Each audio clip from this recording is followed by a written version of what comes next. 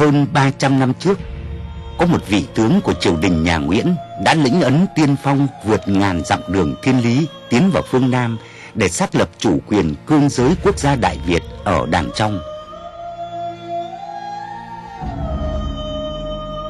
Và khi sự nghiệp thành công, ông được lịch sử ghi nhận là người đã hoàn tất phần việc cuối cùng trong sự nghiệp mở cõi mà nhiều tướng lĩnh các đời chúa Nguyễn trước đó vẫn chưa hoàn thành. Nhờ công lao của ông, Giang Sơn Tổ quốc Việt Nam ngày nay mới thanh thang trải dài từ trùng điệp núi non Lũng Cú, Hà Giang tới tận đất mũi Cà Mau, mênh mông biển trời.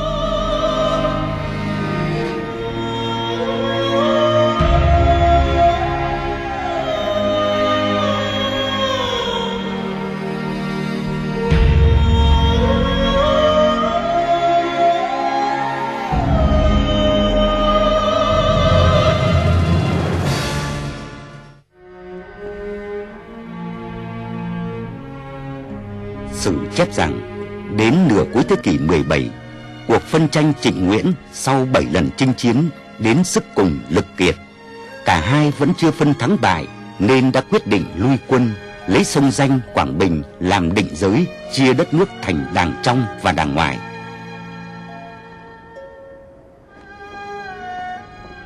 Cuộc chiến với chúa Trịnh chưa yên, chúa Nguyễn ở đàng trong lại phải đối phó với sự quấy nhiễu của lân bang ở phía nam.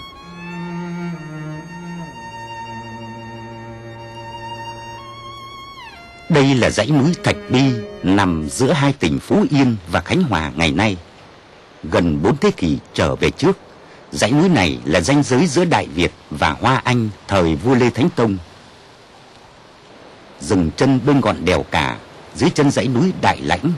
không ai không thể tự hào với những ký ức lịch sử hào hùng về bốn thế kỷ mở cõi và giữ nước của cha ông. Năm Quý Tỵ 1653. Nhân sự kiện bà Tấm xâm lấn phần đất Phú Yên,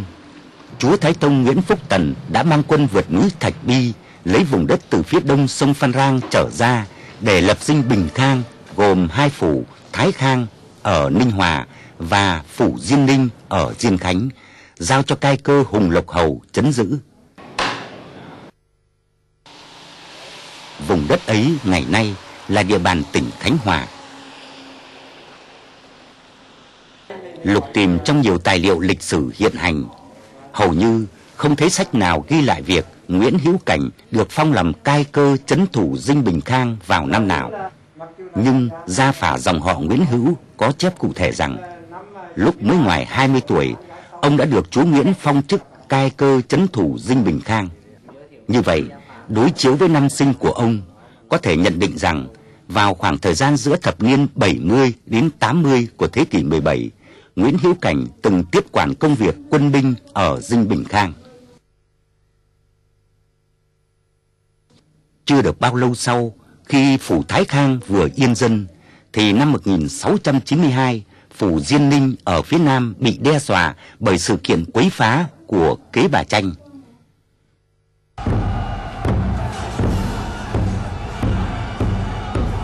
Chúa Nguyễn Phúc Chu lại trọng dụng Nguyễn Hiếu Cảnh bởi tài binh lược mà ông đã thừa kế từ người cha trong những năm binh lửa ở phòng lũy Quảng Bình. Một lần nữa, nắm quyền thống binh, Nguyễn Hiếu Cảnh lại định yên biên ải Diên Ninh, bắt kế bà tranh về quy phục, tạo điều kiện cho chúa Nguyễn Phúc Chu lập trấn Thuận Thành ở phía nam sông Phan Rang. Vùng đất ấy thuộc địa bàn hai tỉnh Ninh Thuận và Bình Thuận ngày nay.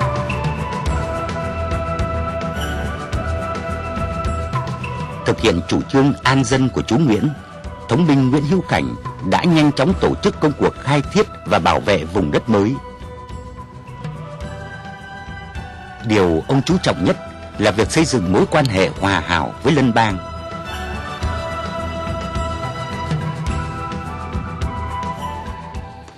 Theo đề xuất của Nguyễn Hữu Cảnh,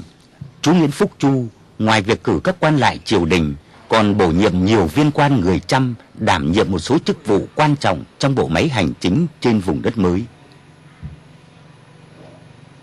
Khi mà tổ chức cái việc quản lý hành chính đó, thì đối với những cái vùng cư trú của của cái tộc người nào đó thì ngữ cảnh sử dụng cái người à, của tộc đó để mà làm cái việc mà cai quản à, quản trị thì cái đó cũng là một cái có thể nói là một cái, cái, cái sáng kiến à, rất là hay. Là vì là vì như vậy nó cũng đánh cho người ta được cái mặc cảm rằng là bị một cái tộc khác à, cai trị mình. À, thì cái đó nó cũng cũng cũng góp phần vào cái cái cái cái, cái tạo nên một cái khung cảnh hòa hợp à, giữa các cái tộc người với nhau.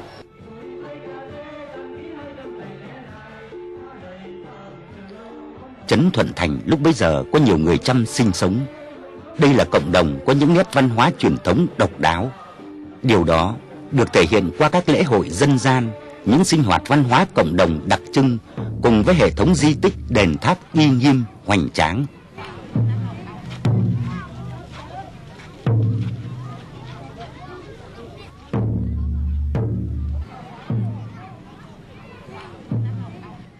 Công việc của Nguyễn Hữu Cảnh trong những ngày đầu tiếp quản vùng đất mới đó là trên cơ sở được thụ hưởng nền văn hóa Champa rực rỡ. Ông đã tự mình làm chiếc cầu nối để kết hợp và dung hòa hai nền văn hóa Đại Việt và Champa, xây dựng Trấn Thuận Thành trở thành vùng đất phong phú về bản sắc văn hóa.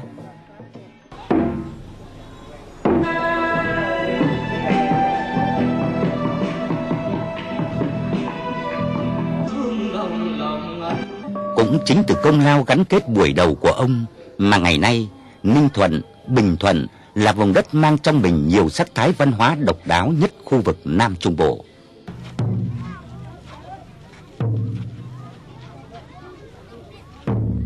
Chúng ta có thể thấy rằng là mối giao lưu giữa hai cái cộng đồng tộc người này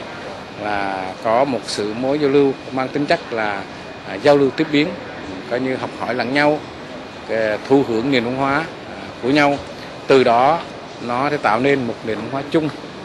để mang một màu, màu sắc à, đậm đà văn hóa dân tộc của Việt Nam chúng ta. Thì mỗi dân tộc đều có thể đóng góp vào trong cái nền văn hóa chung của cả cộng đồng dân tộc Việt Nam. Như chúng ta biết là Việt Nam chúng ta có 54 dân tộc thì trong đó dân tộc Chăm cũng là một trong những dân tộc cũng có đóng góp một những cái tính chất đặc sắc văn hóa mình. Với cái như chúng ta thường hay nói đó là một cái vườn hoa nhiều hương sắc người trăm là một hương sắc, một một loài hoa. Người Việt cũng là một hương sắc, một loài hoa. Tất cả những cái loài hoa này đều trong một cái vườn chung. Vườn đó là vườn của cộng đồng dân tộc Việt Nam. Tôi nghĩ rằng là cái công lớn nhất của người hoa cảnh đó là tạo nên sự hòa hợp các dân tộc sau cái cuộc di cư vào đây. Chính từ việc ổn định được mối quan hệ và giao lưu văn hóa giữa các cộng đồng, tạo sự phấn chấn trong lòng dân nên việc xây dựng bộ máy chính quyền phân chia làng, xã của Nguyễn Hữu Cảnh ở Trấn Thuận Thành mới gặp nhiều thuận lợi và thành công.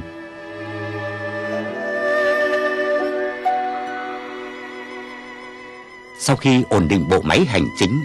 ông đã chỉ đạo quân sĩ xuống đồng giúp dân cày bừa, khai khẩn thêm đất đai, phát triển kinh tế. Theo truyền ngôn mà người già trong các làng trăm ở huyện Bắc Bình, tỉnh Bình Thuận nghe kể lại, thì thuở ấy quân lính của thống binh Nguyễn Hữu Cảnh rất thạo nghề nông. Mỗi khi giành việc binh, bất kỳ ở đâu họ đều phải tham gia việc đồng ruộng giúp dân ở đó, khiến ai nấy đều an tâm làm lụng.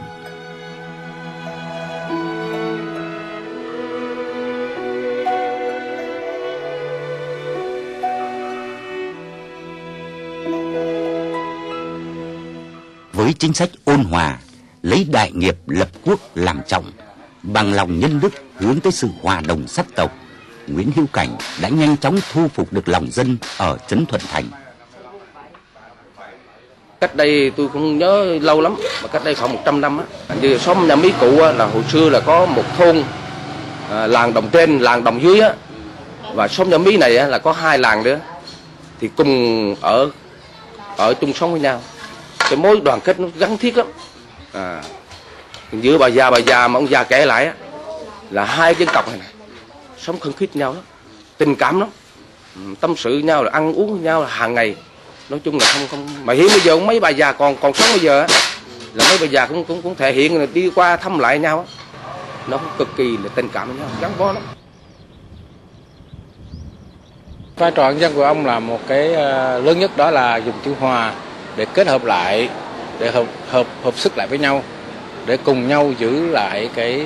khu vực uh, sinh sống của mình. Ờ, đó là một cái ờ, điểm quan trọng. Chúng ta cũng nên nhấn mạnh thêm cái điều này. Đương nhiên trong quá trình cái di cư vào thì nó sẽ có một cái số đôi chỗ thì đương nhiên cái giữa tộc người với nhau chưa hiểu biết nhau đương nhiên phải có xảy ra những cái cuộc gọi là xung đột nhưng mà cái xung đột này không có phải là lớn lắm và từ đó bắt đầu hiểu được nhau rồi thì cùng có thể sống chung với nhau. Như vậy, vào những năm cuối thế kỷ 17, dù không phải là người đầu tiên, nhưng như lịch sử ghi nhận, thì Nguyễn Hữu Cảnh chính là người đã có công lớn giúp chúa Nguyễn định giới xứ Đàng Trong về tận cực Nam Trung Bộ hiện nay. không chỉ tỏ rõ nghệ thuật dùng binh của một vị tướng đã kinh qua nhiều trận mạc, ông còn là người giỏi cắt đặt công việc hành chính và tổ chức cuộc sống cho các cộng đồng cư dân.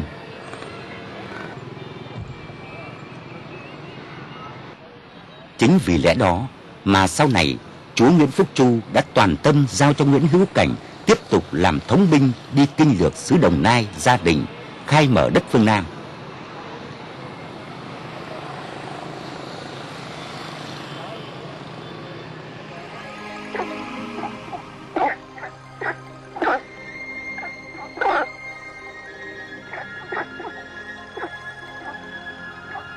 Đồng Nai, Gia Đình cuối thế kỷ 17 là nơi hoang vu, địa thế hãi hùng, dưới sông xấu lội, trên rồng cọp um.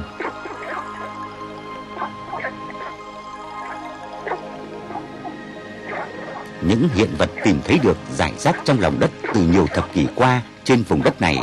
phần nào gợi lên hình bóng của những vương quốc cổ đã từng tồn tại và suy tàn trong quá khứ.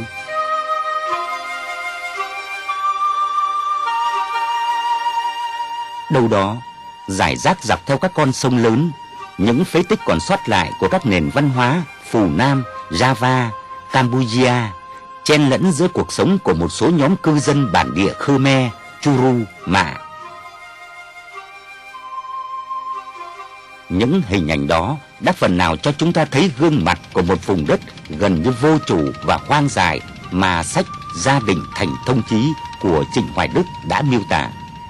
Xứ ấy gò đồi trùng điệp, rừng rú liên răng, cây cối cao lớn chọc trời, rậm rạp vài trăm dặm.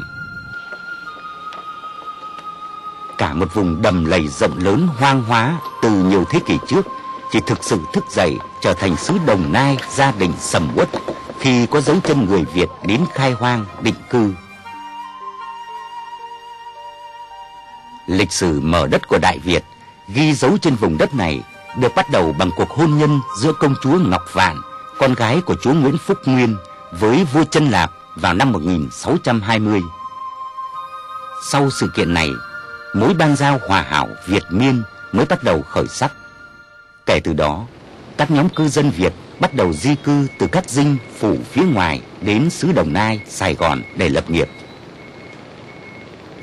Theo Việt Nam Sử Lược của Trần Trọng Kim, thuở ấy Vùng đất này có lắm sông, nhiều ngòi, ruộng đất thì nhiều mà nước Nam ta thường hay mất mùa, đói khổ. Cuộc chiến Trịnh Nguyễn diễn ra liên miên cho nên nhiều người bỏ vào khai khẩn làm ruộng ở Mô Xoài, Bà Rịa và Biên Hòa, Đồng Nai. Năm 1679, Trần Thường Xuyên và Dương Ngạn Địch là những tướng lưu vong của nhà Minh ở Trung Quốc vì không chịu làm tôi tớ cho nhà Thanh nên đã mang theo gia quyến và binh lính xuôi thuyền xuống phía nam vào cầu xin chúa Nguyễn được tá túc. Khi ấy, có người tấu trình, vùng Đông Phố, tức Đồng Nai, Gia Đình, có đất đai màu mỡ. Triều đình chưa rảnh để đi kinh lý, nên chúa Nguyễn đã cho họ vào định cư ở vùng đất này. Khi vào đây, số người Hoa lúc ấy với khoảng ba nghìn người đã chia thành hai nhóm định cư tại Đồng Nai và Mỹ Tho. Tại nơi đây, địa danh là trước là Cù Lao Phố, đó, là năm 1679 thì cái cái tập đoàn của người Hoa Trần Thượng Xuyên đó, là được ờ, uh, chúa Nguyễn gọi cho gọi là tị nạn chính trị ở xứ đây. Và lúc đó là nó trở thành một cái khu như là khu khu, khu phố thị ven sông. Nhưng trước đó nữa thì cái cư các cái lưu dân người Việt là cũng đã rải rác đến. Và có nhắc đến cột mốc là 1620 với cái cuộc hôn nhân giữa công chúa Ngọc Vạn với vua Chay Cheta II. À, vì ý nói là người Việt là đã đến đây vốn từ lâu rồi. À, ít nhất là trong 70 năm là có người Việt sinh sống. À, đến đây hồi đó người ta nói rằng là đến đây xứ sở lạ lùng, con chim kêu phải sợ, con cá vùng phải kinh sự có mặt của người Hoa cùng với người Việt và các cộng đồng bản địa sinh sống trước đó đã góp phần làm cho vùng đất Đồng Nai, gia đình ngày một trở nên đông đúc hơn. Với bản tính căn cơ trong sản xuất nông nghiệp của người Việt kết hợp với truyền thống thương mại giỏi buôn bán của người Hoa nên chỉ một thời gian ngắn, vùng đất Đồng Nai, gia đình đã trở thành trung tâm kinh tế sầm uất, được mệnh danh là nông nại đại phố nhà cửa, phố, chợ mọc lên đông vui, nhộn nhịp. Có thể vì lẽ đó mà những thập niên cuối thế kỷ 17, vua chân Lạp bắt đầu nhòm ngó và quấy phá, gây tình hình bất ổn, ảnh hưởng đến việc an cư, lập nghiệp của các cộng đồng cư dân ở vùng đất Đông Phố. Nhân cớ đó, năm 1689, chúa Nguyễn Phúc Trăn đã cử cai cơ Nguyễn Hữu Hào anh trai của Nguyễn Hữu Cảnh làm thống binh vào dẹp loạn. Cuộc tiến binh của Nguyễn Hữu Hào năm ấy tuy đã ổn định được tình hình, bắt vua chân lạc là nặc thu hàng phục, nhưng điều quan trọng là vẫn chưa xác lập được chủ quyền lãnh thổ của chúa Nguyễn ở vùng đất này. Vùng đất này này vẫn còn là cái vùng đất hoang vu, à, chưa được khai phá, dân số người bản địa thì rất là ít. Cho nên là khi lưu dân người Việt người ta chạy vào đây đó thì người ta sinh cơ lập nghiệp ở đây, nó cũng là tương đối thuận lợi, dễ dàng. Tuy nhiên á, là cho đến cuối thế kỷ thứ 17 thì cái số lưu dân người Việt vào đây đã tương đối đông. Nhưng mà đứng về mặt dân nghĩa dân phận mà nói đấy, thì họ vẫn là những người ờ, ngụ cư, những người ngụ cư. Chưa phải là những người mà thực sự là làm chủ cái mảnh đất này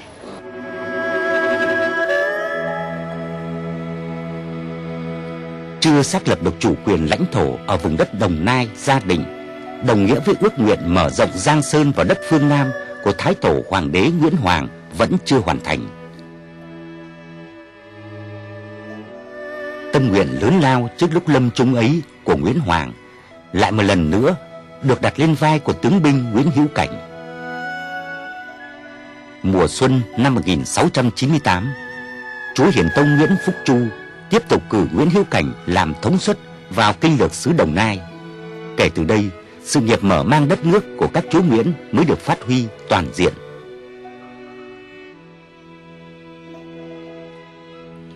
Khi đoàn chiến thuyền vừa cập cảng Cù Lao Phố, Nguyễn Hiếu Cảnh đã nhanh chóng xem xét nắm bắt tình hình cư dân ở khu vực Đông Phố. Bằng kinh nghiệm và nhãn quan tinh tế của một vị thống suất đã nhiều năm đi định yên đất biên ải, Nguyễn Hiếu Cảnh liền bắt tay vào việc thiết lập bộ máy hành chính để tiến tới xác lập chủ quyền lãnh thổ phục vụ cho công cuộc khai phá vùng đất Đông Nam Bộ.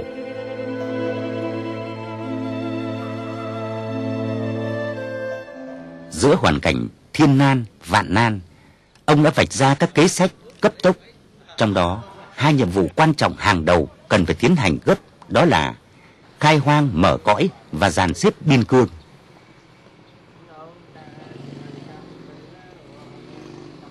Chỉ trong thời gian khoảng 2 năm từ khi nhận nhiệm vụ, Nguyễn Hiếu Cảnh đã hoàn thành một khối lượng công việc to lớn, đó là chia đất Đông Phố, lấy xứ Đồng Nai đặt huyện Phước Long dựng dinh trấn biên lấy xứ Sài Gòn đặt huyện Tân Bình, lập dinh Thiên Trấn đặt phủ gia đình để thống thuộc hai dinh trấn biên và phiên trấn với việc đổi tên Sài Gòn thành huyện Tân Bình, hẳn trong sâu thẳm suy nghĩ, Nguyễn Hữu Cảnh luôn dành một tình cảm sâu nặng với vùng đất sinh thành bởi phủ Quảng Bình, quê hương của ông xưa kia, dưới thời nhà Trần cũng từng có tên là Tân Bình. Với cái mục tiêu đó là xác lập chủ quyền của đảng trong của chúa nguyễn đối với vùng đất mới. À, và như vậy cũng có nghĩa là tạo cho những người lưu dân người việt ở đây một cái dân phận chính thức là những người à, làm chủ cái vùng đất này. Cái giai đoạn rất quan trọng khi mà cái vùng đất phía nam này nó đang được khai phá nó đang diễn ra một cái sự cộng cư của nhiều cái tộc người cũng như là của nhiều cái bộ phận đến để cùng khai phá cái vùng đất này đó. À, để trở thành một cái gì đó không còn là lục chân lạc nữa đấy thì cái vùng này nó đang rất cần một cái sự hiện diện một cách chính thức của một cái chủ quyền của một cái vương triều và vì thế cái quyết định của chúa Nguyễn trong giai đoạn mà cử Nguyễn Hữu Cảnh vào đây nó là một cái sự xuất hiện đúng lúc tạo điều kiện để cho cái vùng đất này thực sự được xác lập cái chủ quyền của những cộng đồng đã có mặt ở đây rồi. Và từ 1698 cho đến mấy năm sau ờ, trưởng cơ Nguyễn Hữu Cảnh vào đây đã làm được cái công việc một cách đó rất nhanh chóng, rất xuất sắc khi mà ông đã định ra một cái nền hành chính Ờ, của cái xứ đằng trong này, của cái vùng đất này. Sau khi phân chia các đơn vị hành chính, Nguyễn Hữu Cảnh đã lập ra bộ máy để điều hành, cai quản vùng đất mới. Mỗi dinh đều có quan lưu phủ đứng đầu bộ máy hành chính, quan cai bà coi về ngân khố, quan kỷ lục coi về hình án. Cùng với việc ổn định về mặt hành chính, Nguyễn Hữu Cảnh còn lo tổ chức lại lực lượng quân đội để bảo vệ an ninh vùng lãnh thổ mới, thiết lập một cách vững chắc. Lúc bấy giờ, ở phủ gia đình, lực lượng quân đội được Nguyễn Hữu Cảnh tổ chức biên chế thành hàng chục thuyền, đội và cơ với các lực lượng thủy binh, bộ binh, tượng binh tinh nhuệ. Dù được lịch sử công nhận là người tiên phong mang gươm đi mở cõi phương Nam, nhưng phải nói một điều rằng, hiếm khi Nguyễn Hữu Cảnh dùng đến sức mạnh của thanh gươm gây ra cảnh máu đổ tang thương để tỏ rõ uy thế của một đội quân thiện chiến. Ngược lại, những thành công mà ông thu được trong quá trình mở cõi và giữ cõi lại đến từ sức mạnh của lòng đại nghĩa, đức độ bao dung của một vị tướng có nhân cách lớn. Trong cái quá trình mà đi vào đây, ờ, ông vâng mệnh của chúa Nguyễn như thế đấy, ờ, cùng với cái uy quyền của vương triều của chúa Nguyễn, còn có cả một cái đức độ của một người có khả năng thẩm thấu được, hiểu được ờ, cái vai trò không thể thiếu được của uy quyền. Ừ, mà cái uy quyền này không để mà chỉ đạo để ra lệnh để mà làm những cái công việc bình định trong công việc khác mà ở chỗ là uy quyền này nó không tạo ra khoảng cách mà tạo ra sự gần gũi người ta thích cái cái hình ảnh của lưỡi gươm tạo ra một cái sự oai phong lẫm liệt. Và oai phong lẫm liệt này để tạo cho người ta thấy là một cái hình ảnh có thể tin cậy được dựa vào đấy được mang gươm đi mở nước là ở chỗ đó tạo điều kiện để cho cái sự định vị cái nền văn hóa của đại việt. À, chứ không phải để rồi lấn át lấn lướt. Khi ông Nguyễn Hữu Cảnh xuất hiện mang theo uy đức của triều đình. Phải là triều đình lúc đó là triều đình là tiêu biểu cho lòng dân ý dân thì người ta mới mới mới theo thì cho nên là cái thu phục của ông Nguyễn Hữu Cảnh chứ không gọi là chinh phục à, thì trên cái sự là lòng dân đang hướng về triều đình. Và triều đình đó là đang đang đang mở rộng cái cái vòng tay cái cương vực để mà quản lý. Nó gặp nhau giữa cái uy đức của một cái triều đình vững mạnh với lại một cái lòng dân là có cái văn hóa là muốn học về kết gì lại có người Việt. Cho nên cái hình ảnh mà dân đây rất nhớ qua cái câu thơ Quỳnh Văn Nghệ là từ độ mang gươm đi mở cõi trời Nam thương nhớ đất Thăng Long. Ta nhớ là mang gươm chứ không phải vung gươm.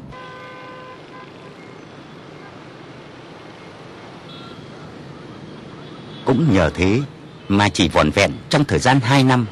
Nguyễn Hữu Cảnh đã thiết lập được hai vùng đất quan trọng, đó là Đồng Nai và Sài Gòn. Sau này, đây đều là những trung tâm kinh tế trọng điểm của miền Nam và cả nước.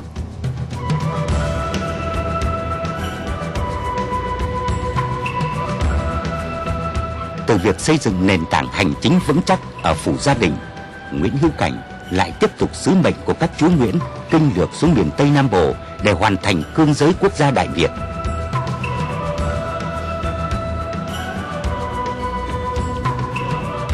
Công cuộc an dân, phát triển kinh tế, truyền tải văn hóa Đại Việt trên giải đất rộng hàng ngàn dặm từ Đông Nam Bộ xuống Tây Nam Bộ mới thiết lập ấy của các chúa Nguyễn và thống binh Nguyễn Hữu Cảnh diễn ra như thế nào sẽ được phản ảnh trong phần tiếp theo của bộ phim này.